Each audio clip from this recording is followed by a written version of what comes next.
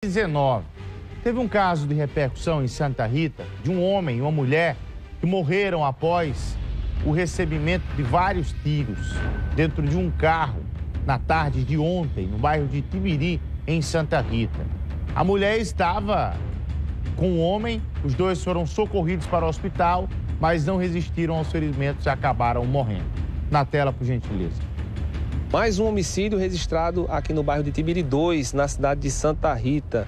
Segundo as primeiras informações que chegaram até a nossa equipe, um casal vinha no modelo Gol, quando nesta rua aqui, o outro carro com várias pessoas chegaram próximas e efetuaram vários disparos, né? Inclusive o rapaz, ele faleceu no local e já a moça, ela chegou a ser socorrida pelo SAMU e foi diretamente para o Hospital de Emergência e Trauma em estado grave. Por volta das duas horas, fomos acionados a via informando onde dois, um casal teria sido alvejado com disparo de arma de fogo na região de Tibiri.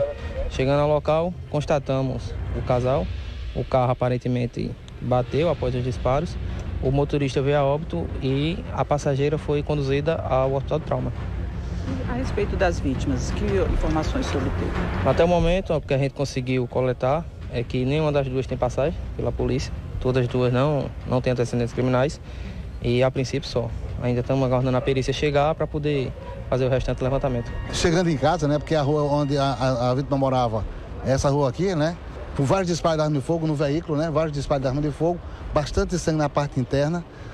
A vítima aqui do local encontrou-se sentado né, no, banco do, do, do, motorista, também apresentando vários disparos de arma de fogo. Tem identificação da vítima? Tem sim. Do, é, Dinarte Douglas da Silva Araújo, 1998. Doutor, é, tinha alguma, algum objeto dentro do veículo, drogas, armas? Não, não foi, não foi observado nem droga nem arma. A perícia foi concluída e tivemos a, a informação também que o carro, quando foi atingido, estava em movimento. Então, esse carro veio perseguido e estava em movimento. Apesar de socorrida, como eu disse, Bruna veio a óbito. Os assassinos estavam de moto ou de carro? Os informes né, de populares ainda não identificados informaram que eles estavam num veículo, num carro. Foram vários disparos, né? E pelo fato de, de desse carro ter sido perseguido, realmente eram vítimas escolhidas naquele momento. Então vai ser muito importante e a gente divulga nesse momento né, a importância do 197. Qualquer informação, qualquer cidadão pode estar colaborando sem se identificar, sem necessitar prestar qualquer informação sobre sua identificação e colaborar nessa investigação. Com imagens dele, Kleber Pereira, o Bambam, repórter Diego Magão, retorna aos estúdios da sua TV Arapuã.